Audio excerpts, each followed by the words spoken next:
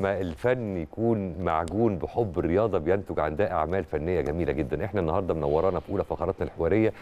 فنانة ورسامة موهوبة بتعبر عن محبتها ومشاعرها بالرسم وتحديدا محبتها ومشاعرها تجاه النادي الأهلي. إحنا النهارده منورانا الأستاذة والفنانة آلاء شرارة. يا صباح الفل عليك.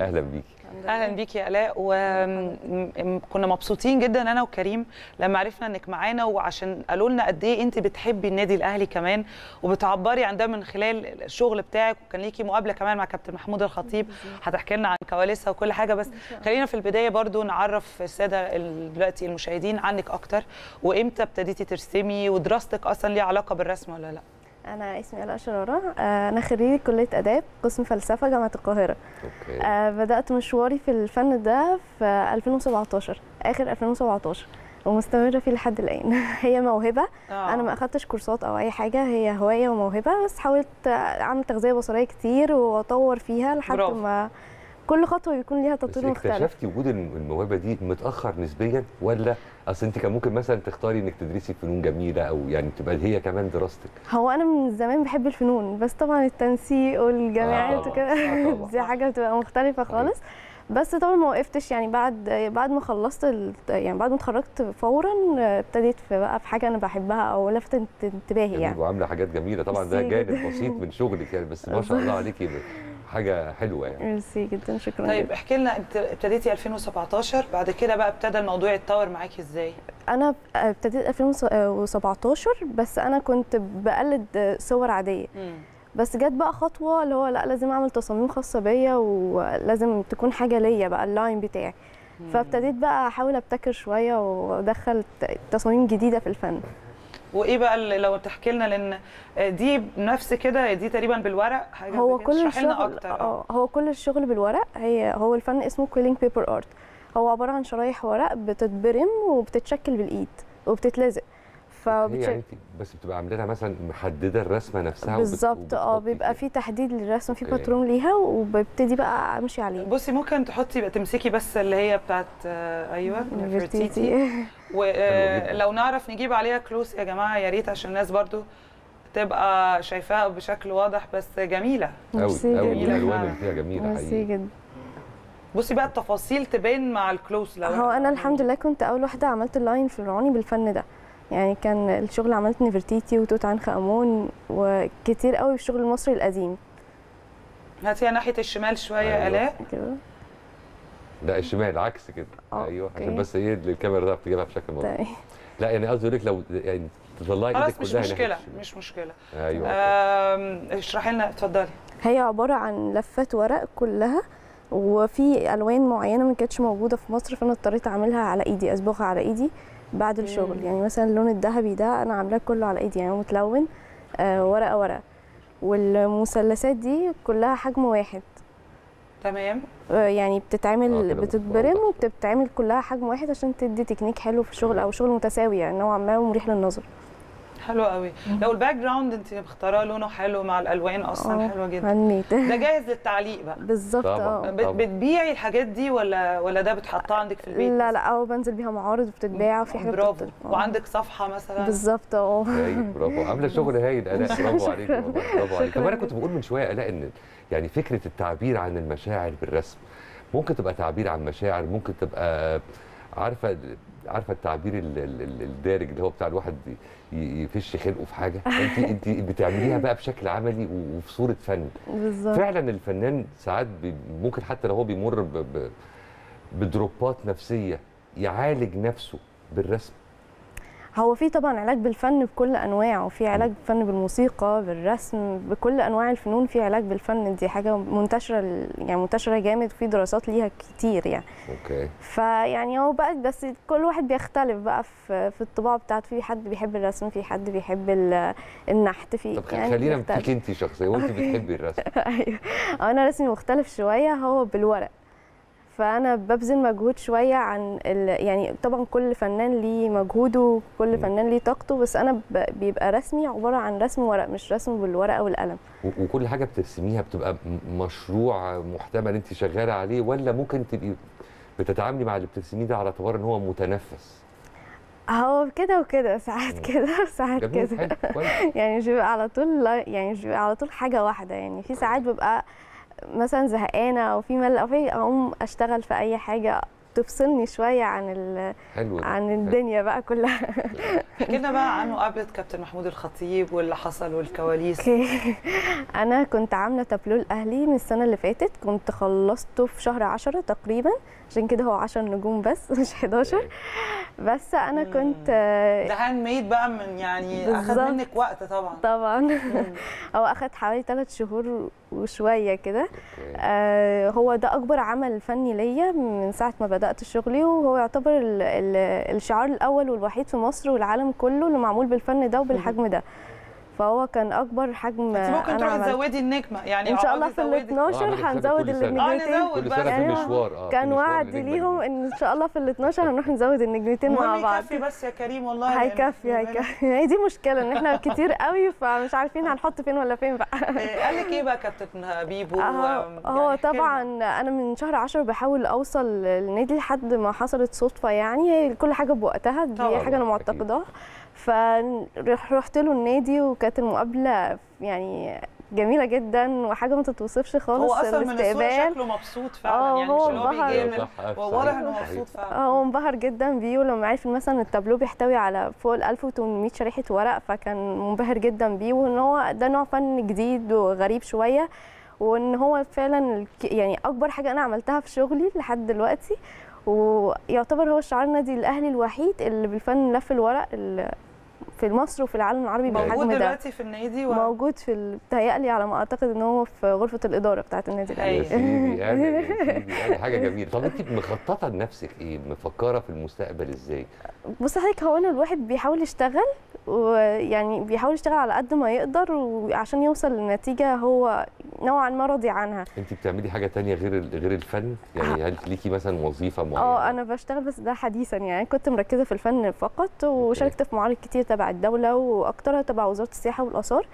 أه بنزل المتاحف بالشغل وبعمل ورش عمل وكده. بس أنا طبعا طموحي أعلى من كده بشوية. لأن نفسي يكون البراند عالمي مصري مش مصري خطط يعني. جميل. طب خدتي أي خطوات لده ولا لسه بتفكري إزاي أب- تقدمي؟ الخطوة يعني الخطوة كبيرة وطويلة فالواحد محتاج وقته عشان ياخد الاستعداد القوي ليها إنه يتصدر حاجة زي دي أو يمثل مثلا مصر بره في معارض محتاجة وقت خلي بالك انت بتقولي حاجة قعدت. معاكي ثلاث شهور عمل عمل. بالظبط جدا. قعد ثلاث آه. شهور. يعني انت كم عمل لحد دلوقتي عاملاه من لا آه 2017 كتير. أنا ما عدتهمش بس كتير طبعا. يعني من 2017 إحنا دلوقتي عملتي بقى حاجات 2023. ليها علاقة بالرياضة وال- والحاجات آه، الفرعونيه الرياضة الحاجة الوحيدة اللي أنا عملتها هو شعار النادي الأهلي ومحمد صلاح. لكن طبعا في طابع فرعوني في طابع مم. مصري اللي هو ال- العادي كلاسيك في يعني كذا طابع طب انت يعني شغالة على نفسك بشكل فردي ولا ممكن مثلا يبقى في تعاون ما ما بينك وما بين مثلا وزارة الثقافة مثلا؟ هو ده طبعا أو أو أي جهات معنية بالفنون بشكل عام؟ آه، هو أنا إلى الآن بشكل فردي. يعني بس ده طبعا يكون شرف ليا إن أنا أكون بتعاون مع وزارة الثقافة أو حاجة من الحاجات الموثوق فيها يعني. بس إلى الآن أنا بشكل فردي. عملتي كم معرض ولا ما عملتيش لسه؟ هو أنا اشتركت في معارض لكن معرض باسمي كخ- كمعرض خاص آه، هي ما حصلتش غير صدفة في متحف ال- المتحف القبطي وكنت آه، يعني نازلة المعرض في احتفالية ليهم كان المعرض كان باسمي أنا لوحدي. شايف انك برضو لوحة تانية آه. جميلة. اللي هي آه. يعني دي عبارة عن آه بالظبط التوصيل لسه عايزاك أقول لك التوصيل منحوتين بعجينة الورق. وعليهم الريش بتاعهم ده هي قصقوصة قصقوصة قد كده بالورق عايز متقصقصة. صبر برضه يا آه آه وال background طبعا handmade وال- والشغل بقى كله حاجة honeymoon عموماً- كده تحسها. هاني مون آه، جدا. honeymoon جدا. حاجة رومانسية. أنت عموما بتختاري ترسمي إيه بناء على إيه؟ يعني بتقرري انت مثلا عايزة ترسمي آه مثلا منظر بتستوحي طبيعي. يعني أو شخص شخصية عامة أو يعني بتقرري بناء على إيه؟ عايزة ترسمي؟ هو بال يعني مثلا أنا مشيت فترة كان في ترند جدا الصور الإفريقي. يعني كانت طالعة ترند اللي جدا هي إيه؟ الصور الإفريقي. آه. كانت. طالعة ترند جدا فعملت تصاميم خاصة ليا بالإفريقي. بس أنا مش بمشي تبع الترند والحاجات يعني اللي أنا حاساه بعمل اللي أنا شايفاها هعرف صح وده أعملها أحسن. وأنفذها. الله بس دي. حلوة. جميلة دي كمان قوي قوي قوي برافو عليك. حلوة جدا. الله لا تحفة. يا شغلك الحلو يا الاء بس انت عايزة تصغري اللوجو بتاعك اللوجو يصغر؟ شوية بالظبط. يعني وبناتي قوي يعني آه. cute pink بقى وفوشيات وحاجات كده. حاولي تصغريهم عشان لو حد عايز يعلق أو أيوة، صح. يشتريها بس كل شغلك جميل حلوة. قوي قوي يا كريم وتفاصيل الوش طبعا. والملامح ميك اب لا لا لا ما شاء الله. يعني بجد من ال- الفنانين ال very talented كأنك درستي يعني كأنك درستي فعلا. عملت بقى اللي هو الفرعوني كان حورس. ونفرتيتي في منها نسخة تانية وفي الزي الفرعوني نفسه مش ملكة نفسها وتوت عنخ آمون طب انت بتقولي ان انت مش من محبي الترند قوي مش بتشتغلي بناء عليه أو بموجبه آه. لكن في نفس الوقت بعيدا عن ال trend ال social media ممكن تبقى بشكل عام مفيدة جدا بالنسبة لك في طبعا. التعريف بيكي وفي شغلك في التسويق لأعمالك في فكرة إن أنت تتواصلي مع معارض دولية. الدنيا دلوقتي بقت أسهل بكتير في هذا الإطار. applications معينة بتتملي وبتتواصلي من خلالها مع الجهات المعنية بالفنون المعارض الفنية المختلفة. بتعملي كده؟ هو حاليا بعمل كده داخل مصر لكن okay. خارج مصر لسه ما أخدتش الخطوة. يعني شاركت في معرض تراثنا طبعا هو اكبر معرض حرف يدوية في الشرق الأوسط بيفتتح هايل. سياده الرئيس بنفسه. آه، شاركت في معرض البازار ده كان تبع جهاز تنمية المشروعات. آه، طبعا بقى المعارض في معارض خاصة يعني عملتها يعني نزلت فيها تب- تبعها. والمعارض بقى اللي هي بتبقى تبع وزارة السياحة والآثار. لعلمك الحاجات اللي برضو ليها علاقة بالديكورات والحاجات دي برضو ممكن شغلك يبقى أكيد. هو الانتشار. عموما بيبقى عن طريق ال social media في أي في أي حاجة. دلوقتي إحنا شغلنا. كله social media سواء بقى أي منصة من المنصات بنحاول ننتشر وننشر الشغل على أي groups أي pages بتبقى موجودة فبنحاول مين بيشجعك من عندك من البيت؟ هو طبعا طبعا والدي ووالدتي هم الأساس. ده، آه، أكيد. يعني. بيتفرجوا طبعا. تحياتنا في. اختيارهم يعني معايا ومساندتهم ليا وأختي طبعا والأهل والأصدقاء. وفي ناس كمان أنا ما اعرفهاش على ال social media بيقولوا لما بيشوفوا الشغل. آه بالظبط كده. هم حد من البيت برضو آه، فنان أو talented إحنا كل العيله فنانة. عيلة فنية. آه بالظبط. كل العيلة بتشتغل. handmade كلهم في, في, الرسم بس ولا لا أنا؟ والدي اخشاب هو اللي بيصمم لي التابلوهات على إيده. okay.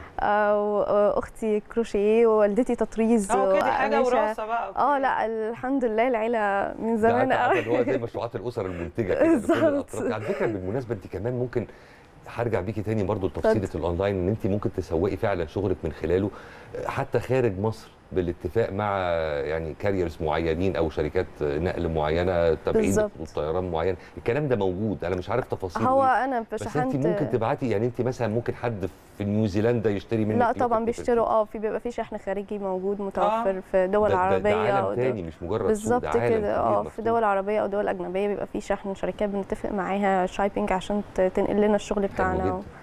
فيعني حلو الحمد لله. ممكن برضو ال- ال- ال- اللي هو ال- اللاين الفرعوني بتاعك ده تعمليه في الأماكن السياحية يعني هو لو فعلاً. مع حد في الأماكن يعني أنا السياحية، الحمد ممكن لله تعملي آه لهم زي كامبين ليه علاقة أنا كنت بنزل شارع اللاين المعز. لأن تبع متحف النسيج قبل ما يتقفل كان بيبقى مطلوب الشغل الفرعوني جدا بالظبط. وفي المتاحف متحف الحضارة. ومتحف لا ال وغير متاحف النقطة اللي. بتقول لك عليها نهاوند فعلا مهمة كل الفنادق تقريبا بيبقى فيها بازارات كمان آه. جوه ال- جوه ال- بالظبط فعلا منطقة اللوبي فدي برضو فعلا. يعني مجال لعرض المزيد من أعمالك حلوة الحكاية دي آه انت عملتي برضو أعمال دي مختلفة كتابات، آه. في حاجات بتبقى أصعب من. حاجات يا ألاء آه طبعا يعني ال-. ال- الخط وال- والكتابة بتبقى أنا بالنسبة لي أسهل شوية من الشخوص نفسهم بالظبط. أسهل شوية من مثلا الفرعوني لأن بيبقى حجم معين لازم أمشي عليه تلوين معين لو في طبعا. حاجة بتتلون الطاووس ده خد وقت غير طبيعي في الجسم في ال body بتاعه بس بعيدا عن الشغل اللي حواليه وال background ال body بتاعه خد وقت كبير جدا إن أنا. كانت أول تجربة ليا إن أنا أنحت أساسا حاجة ب material بحاول تكون متوفرة عندي ف ده كان واخد وقت طويل جدا. وزي بتاع النادي الأهلي ده شهور مثلا. طب يعني الوقت اللي بتستغرقيه في عمليات الرسم والتجهيز ممكن يتعارض شوية مع شغلك مثلا؟ والله بحاول في ال weekend والأجازات أستغلها في في الشغل بتاعي. يعني بحاول أكون لو في حاجة معينة أستغلها أستغل الوقت ده في إن أنا أنجزها يعني. انت بتشتغلي إيه أصلا في مجال إيه؟ أنا في التدريس. في التدريس؟ بالظبط كده. هو التدريس عايز صبر وانت باين عليكي آه. هاديه فينفع ف... لا والحقيقة انت عاملة حاجة حلوة قوي قابلة للتطوير بجد. كمان. يعني أنا بحاول أحط في كل تابلو حتى لو اتعمل طلب مني الأوردر مرتين يبقى التاتش مختلف أو ما بعرفش اكرر الحاجة مرتين. بحاول يكون في حاجة زيادة حاجة أنا. شايفاها بتتطور دي بس الخطوات إن الواحد انت عندك حاجات مريحة للأعصاب. يعني. دي لما بصيت لها دلوقتي تحس أنا بحب المناظر الطبيعيه relaxed. جدا. آه يعني ألوانك حلوة. ما أعرفش في حاجة حلوة ما شاء الله يا علاء عندك في شغلك بجد. ميرسي جدا. مش بجاملك يعني. طيب آه، الوقت بيجري بس أنا حابة برضو آه، يعني قبل ما نختم آه، نفسي إن شاء الله يعني أنا أنا شايفة إن انت ما شاء الله very talented بجد جدا. نفسي الاء لما تيجي تنورنا مرة تانية بعد ست شهور بعد سنة يبقى في فرق كبير ويبقى موضوع المبيعات زادت إن شاء الله. هتشتغلي على ده و... أكيد. وعندك plan لده أكيد إن لازم، شاء الله لازم. أكيد هو ليه. نستنى لما الاء تيجي تنورنا بدل ما الاء تبعت لنا دعوتين أيوة. معرضها الجديد طبعاً ده- ده مثلا أو يشرفني أكيد ليه لا يا ده ريت ده يشرفني. أي مصري يا رب، بيعمل اللهم شغل آمين. وبيمثلك بره وينجح ده كلنا بنبقى إن سعداء شاء بيه. الله الخطوة الجاية بإذن الله موفقة دايما. وسعدنا جدا بوجودك معانا أنا نورتينا أسعد. وشرفتينا أنا أسعد. بنتمنى لك كل جداً. النجاح والتوفيق اللهم. آمين ميرسي جدا شكرا جدا يا. الاء من النماذج المصرية الجميلة حقيقي. تستحقي كل النجاح بإذن الله هنروح فاصل ونرجع مع حضراتكم للفقرة الثانية خليكم معانا